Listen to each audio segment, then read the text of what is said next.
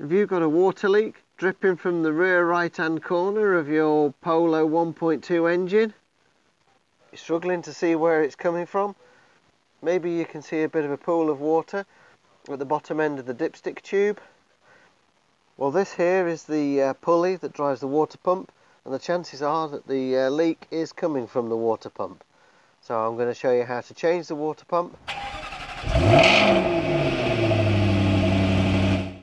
Don't forget if you want to learn more about looking after your car yourself, saving a few dollars or pounds on garage bills, on the labour, then stay tuned and don't forget to subscribe and hit that bell notification to make sure you don't miss anything.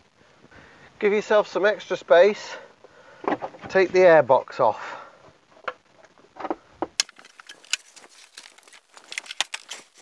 Just gives you a whole load more room around here. Now we will need to remove the serpentine belt in a few moments but before we do undo the three screws that hold the pulley to the to the shaft of the water pump just to just take the tension off whilst the belt is still in position and can be used to uh, stop the pulley turning. To remove the serpentine belt first pop the cover off the centre of the uh, tensioner wheel. Now with your T50 Torx on a ratchet set into the uh, undo direction connect to the bolt in the centre of the pulley make sure you're squarely in it and lift that will take the tension off the belt and you can lift it away from the alternator pulley at the front with your other hand once the tension is off the belt you can lift the belt away from the water pump pulley you can now undo these three bolts that hold the pulley to the pump. Try not to drop them and then the pulley simply comes away from the pump. If like me you drop one of the uh, bolts, although it'll end up on the floor, a magnetic pickup tool is very very useful. Now if we take a look at the new pump and we place it in roughly the orientation that uh, you would see looking sideways onto the uh, fitted one. You'll see that there are four fixing positions and you will need a hex 6 millimeter bit and you'll also you'll need an, either a, a long bit or a very short extension on your ratchet bar.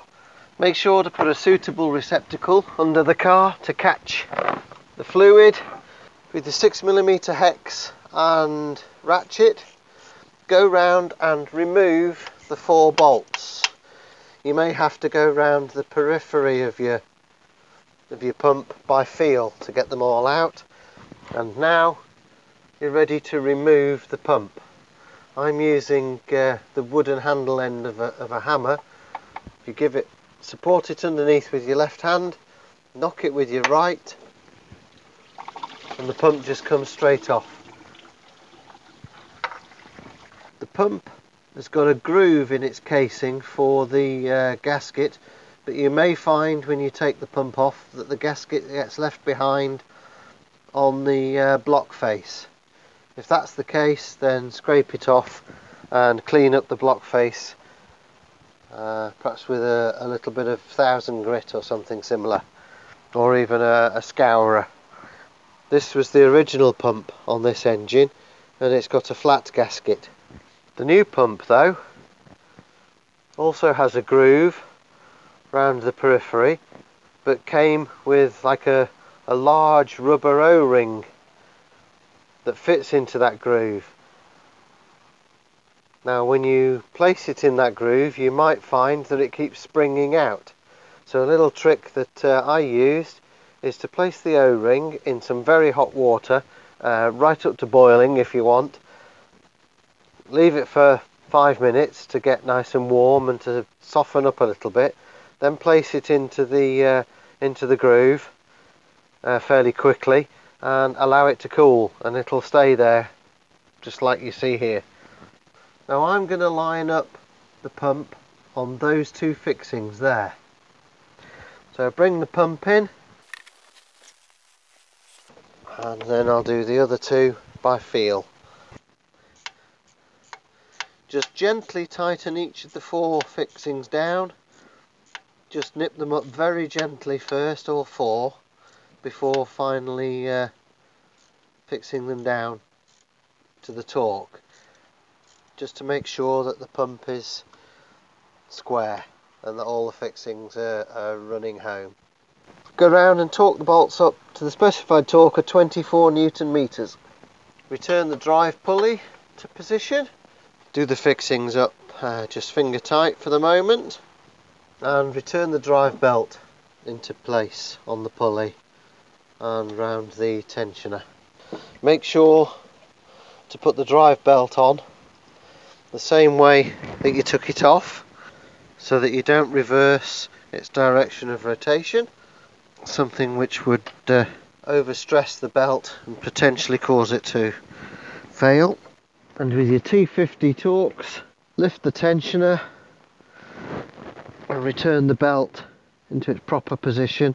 Double check that the belt uh, lines up properly with all the pulleys.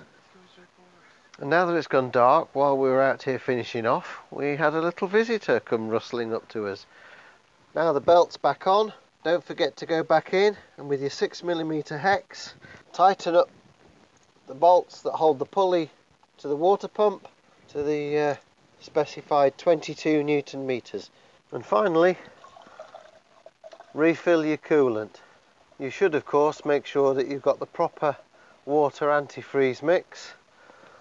But unfortunately because this is a an emergency repair for us we're just putting water back in it for the moment once you've refilled with sufficient uh, coolant just put the cap on two or three turns and then you can start the engine let it run by leaving the cap loose it'll allow any air bubbles out and you can take it back off to check the level and top up while it's running. As the engine warms up you'll see air bubbles coming out of the centre of the uh, water bottle. Keep an eye on that and keep topping up as necessary. So that's it. Job's a good one. All in all it should take you about an hour, maybe marginally over. It's taken us just a little under two hours and that includes filming it. Don't forget to add your comments down below. If you got some value out of this video, give it a like and I'll see you next time.